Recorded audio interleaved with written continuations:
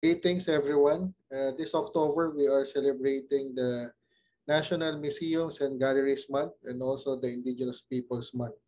So I am Randy Nobleza from the Institute of Arts and Social Sciences, and I'd like to share some uh, background on the uh, extension and community involvement in regards to cultural mapping project in the province of Marinduque. So since 2017, we're able to forge a partnership with the National Commission for Culture and the Arts uh, with uh, the then President, Dr. Marian Simani, and the then uh, NCCA Executive Director, Rico S. Pableo. So we started in the town of Mogpog and we were able to schedule uh, training for the local mapping team by uh, June 2018. And by uh, October, we were also able to uh, have a training with the town of Buena Vista. And from then on, uh, we moved from one town to uh, the next, and uh, we were able to produce at least uh, one uh, completed and turned over local culture profile in the town of uh, Santa Cruz. So there are at least seven phases of cultural mapping uh, project. So we start with the scoping and negotiation when we uh, explain to the sponsoring local government uh, unit and uh, we identify the mappers during the next phase of the uh, CMAP or cultural mapping project with the social preparation. And after that, uh, we'll be conducting at least uh, five days for the training of local mappers where uh, NCCA assigns or uh, hires a facilitator. So it so happened that uh, we were trained in 2017 and we were uh, deployed in 2018, the following year. And after the five days training, there would be a data gathering uh, phase, which would uh, take place with a span of uh, at least six months. And after which there would be a couple of uh, follow-up visit.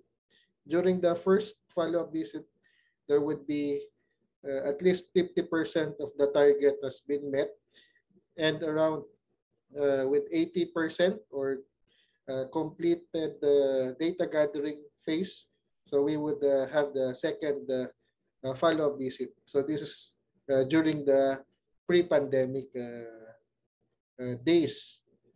So after the couple of data gathering, we'd be having the uh, community validation where NCCA invites external validators and uh, uh, identified culture bearers and key informants from the community uh, would be joining as internal validators. And with the process, the whole community participate and by then they would be able to uh, point out the comments and the suggestions so that uh, the local culture profile would be finalized. And after it gets finalized, it would be turned over uh, by the LGU to the National Commission for Culture and Arts. And uh, this is the second to the last phase before uh, the last uh, phase, the analysis uh, with the results and the planning that comes after. So this phase is about the utilization of the uh, results of the local culture profile.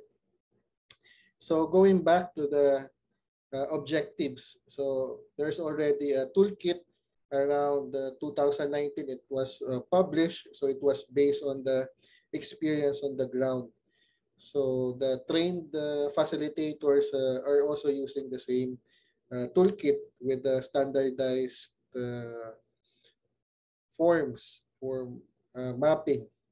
So there are at least five uh, objectives. So one is uh, to understand basic frameworks on culture and heritage based on the National uh, Heritage Act of 2009 or RA 10066. So the second uh, objective is to appreciate the value of various cultural resources in the community. Uh, the third uh, objective is to apply different tools and methods for gathering, classifying, and analyzing local culture data. So the fourth uh, objective is to consolidate the local culture profile and generate um, some baseline data for cultural statistics.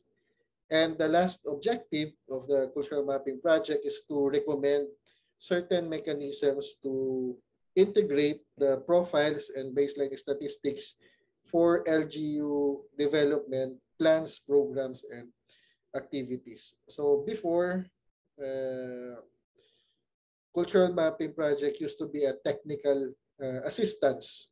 So NCCA takes care of the facilitators while the LGU for their counterpart takes care of their local mapping team. But uh, in from 2020 onwards, especially during the time of pandemic, it was transformed into a grant. So the NCCA provides funding to the local government unit so that they can pursue uh, cultural mapping even in the times of pandemic. So let me talk about the status of the cultural mapping uh, project in the province of Marinduque and also in the region of Mimaropa and beyond the Marinduque and Mimaropa. So as I mentioned, we started with the town of uh, Mogpog in June 2018 and before the uh, last quarter and ended in 2018 we were able to train one more uh, set of local mapping team in the town of Buena Vista. So at the moment, uh, Mugpog is uh, still in their data gathering phase and they are preparing for the community validation. So this is understandable because during the time it was still technical uh, assistance and not yet a grant. So same case with the town of Buena Vista. But in the town of Buena Vista, after the training, they were able to have the first uh, follow-up visit along with Mogpog, but that's where they uh, stopped.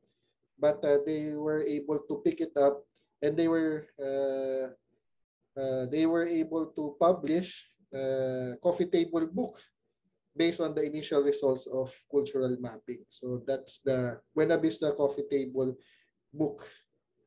So at the moment, uh, they're not yet decided to pursue uh, the data gathering or to proceed to the community validation.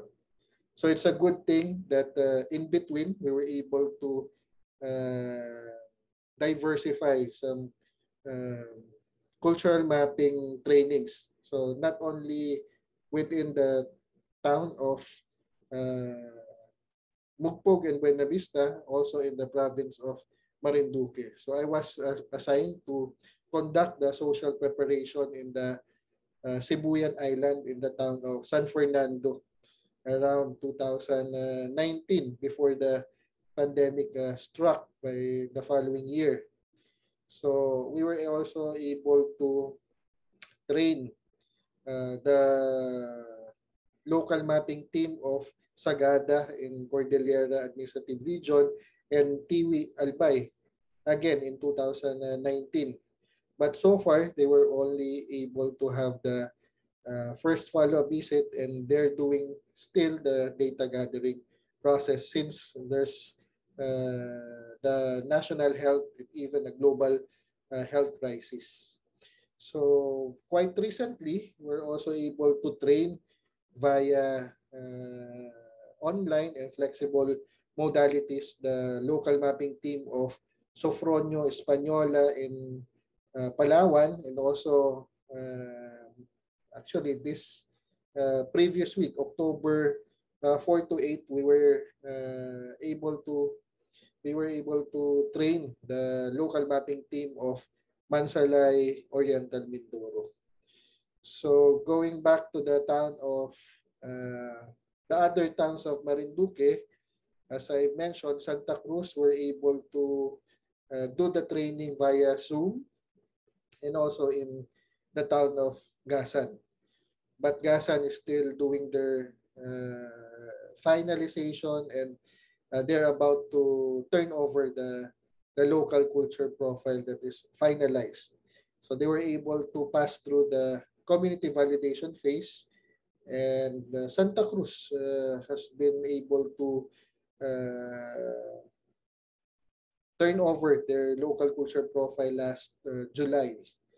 And I hope that uh, within the last quarter, Gasan would be able to do the same.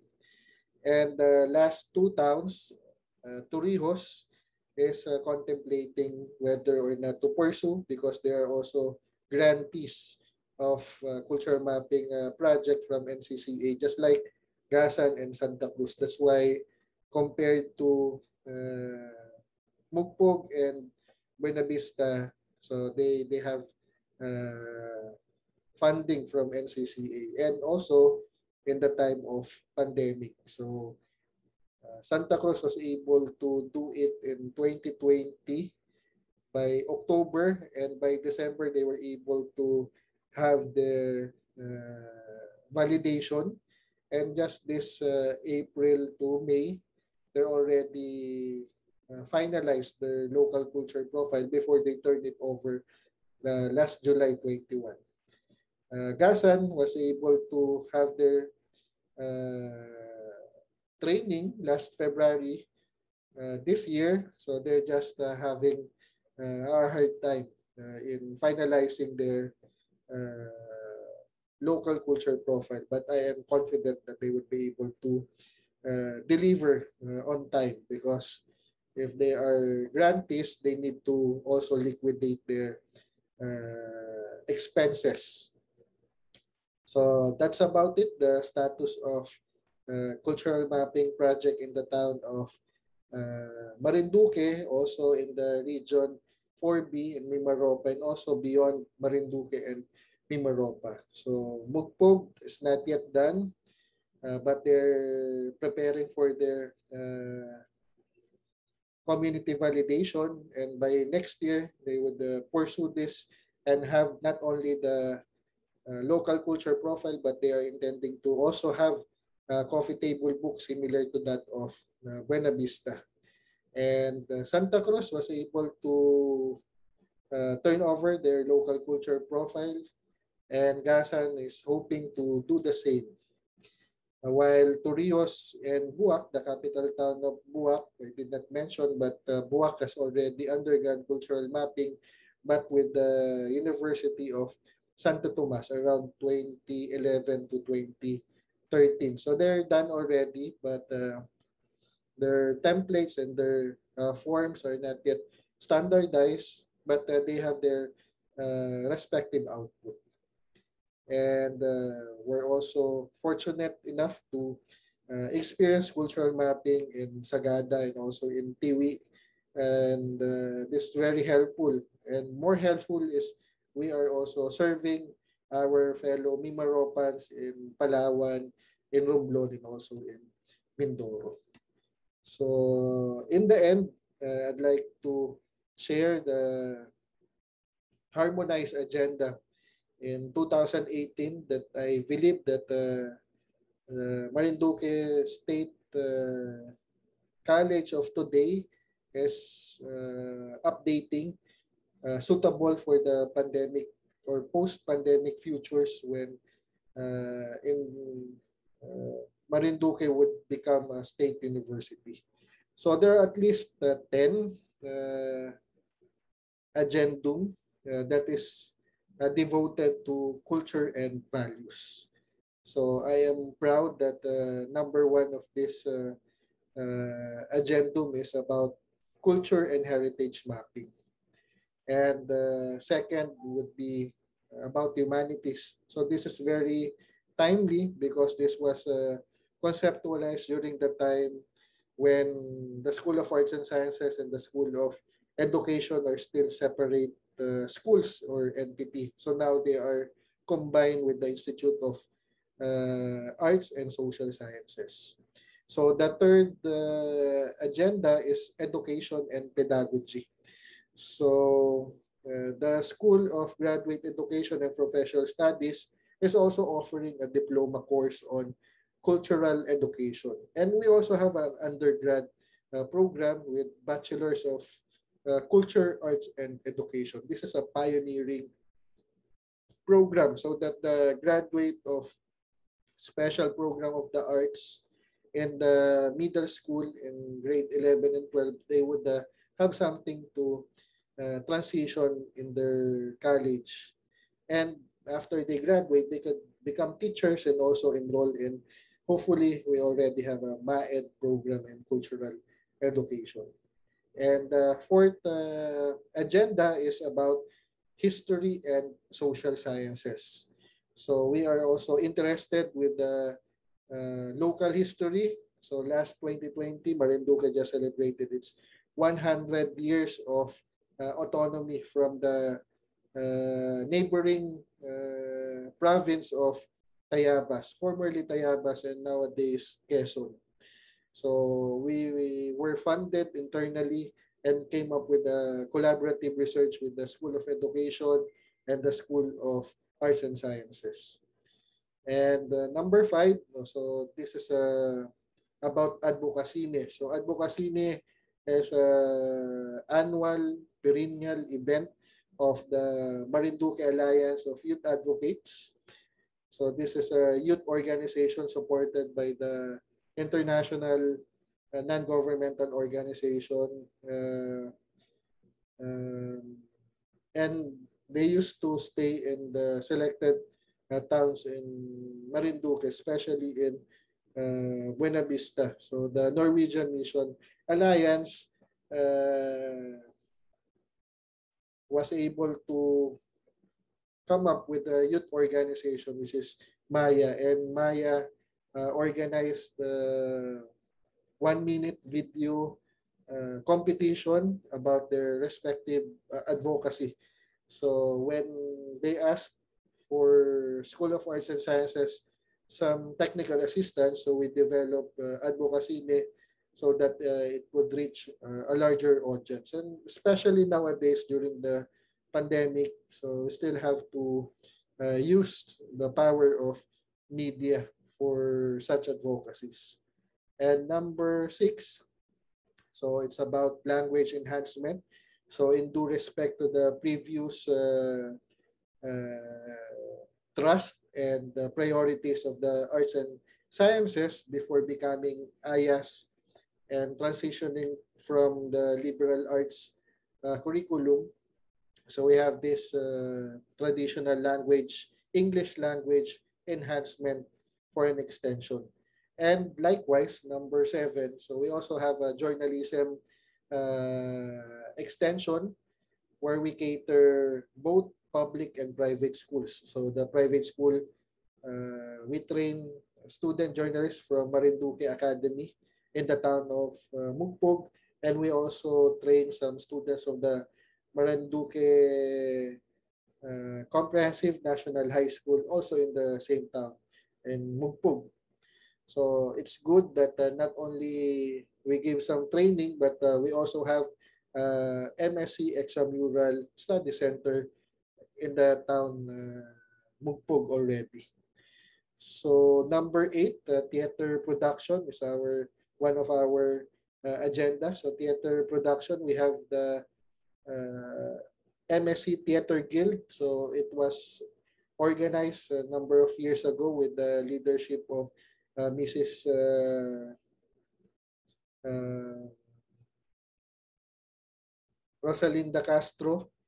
So it was known as Teatro Marinduqueño before and it was transformed to uh, MSC Theater Guild. So most of our students from uh, both AB English and Communication, they are the ones who are joining the theater production. And just this year, even in the times of COVID-19, we're able to mount uh, digitized and recorded uh, theater production.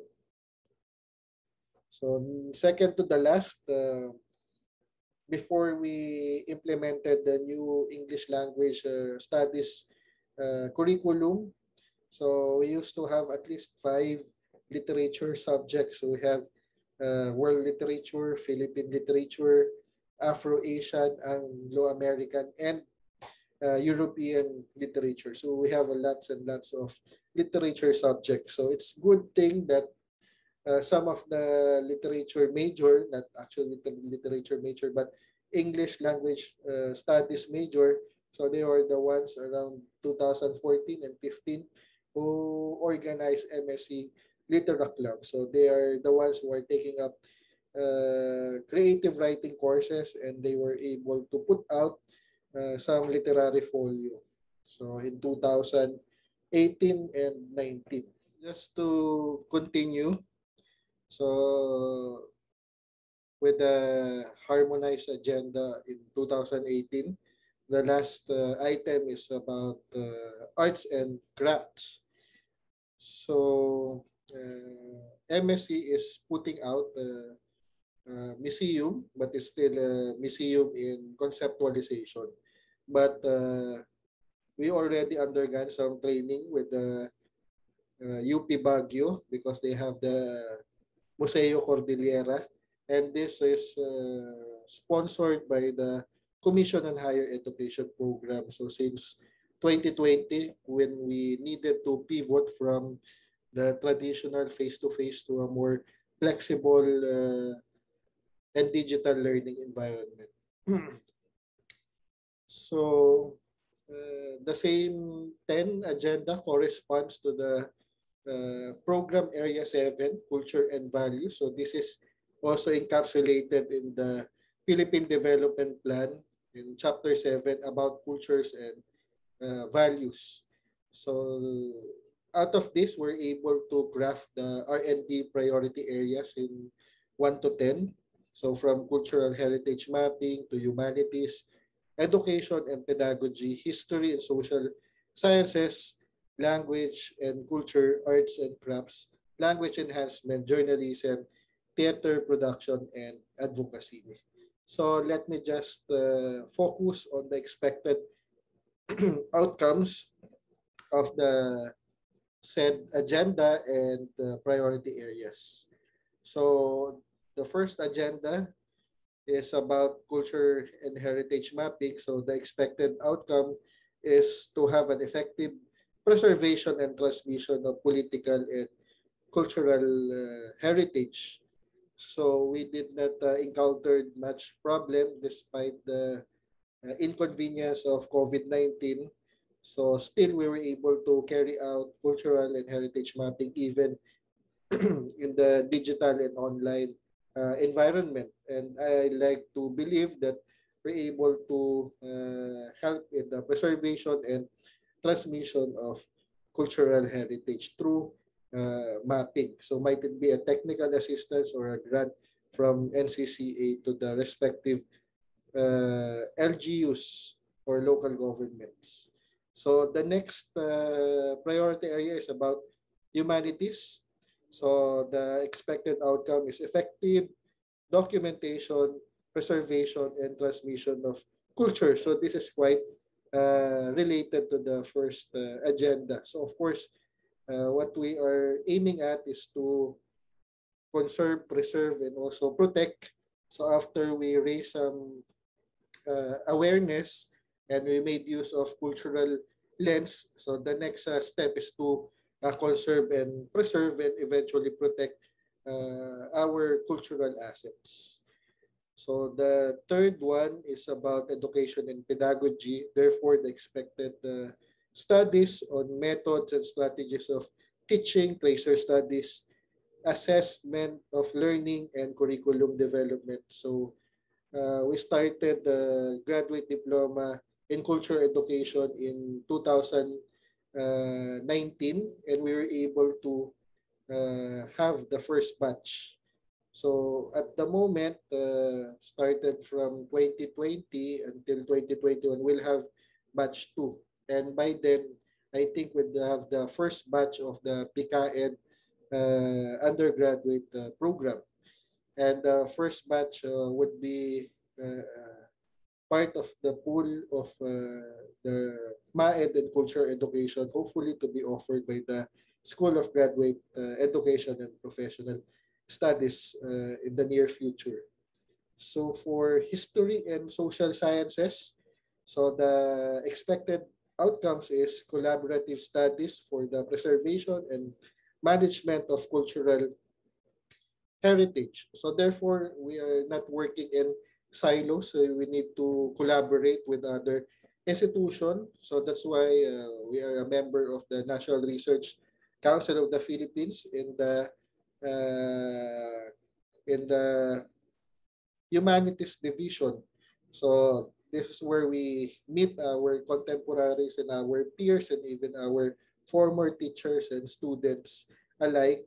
And that's where we collaborate in certain uh, aspects of cultural heritage.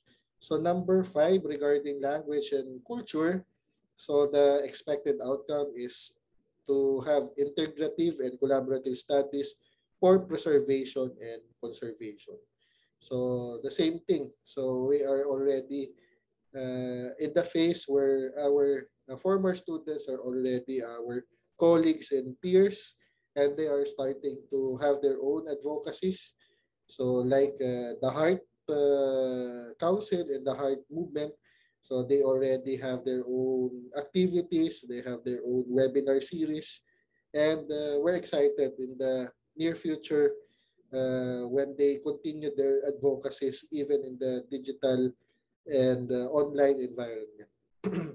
so for arts and crafts, so the expected uh, output or outcomes is uh, to have an effective preservation of Marinduque's arts and crafts. So therefore, in Marinduque, based on cultural mapping, we're able to identify the intangible cultural heritage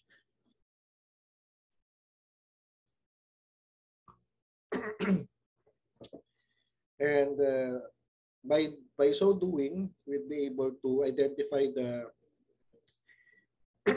the cultural masters and the culture bearers and the practitioners, and uh, we'll be able to uh, provide more support so that uh, they can transmit their uh, indigenous knowledge to their uh, uh, to the people they they are living with in the same community. And uh, in the near future, so we'd uh, try to also expand and uh, provide more service to others. So even with our province mate from the Mimaropa region, because for example, Moriones, uh, as an intangible cultural practice is not only present in Marinduque but it also travels uh, in other neighboring parts of Mimaropa and even in Calabarzon. So there's in Quezon, there's also in Mindoro. So next about language and enhancement.